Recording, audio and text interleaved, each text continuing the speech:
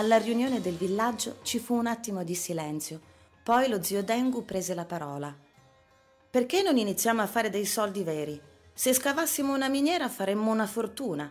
Avremmo abbastanza denaro per strade d'asfalto e case in mattoni, ci sarebbe energia elettrica per tutti. Pensateci, disse.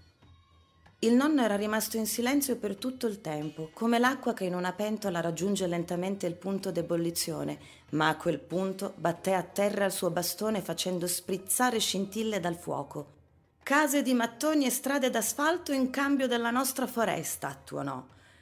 E questa la tua soluzione? Forse dimentichi che la foresta ci dà tutto, fiumi da cui bere, pioggia per i nostri campi, cibo e medicine, legno per le nostre case. Che cosa saremmo senza di lei?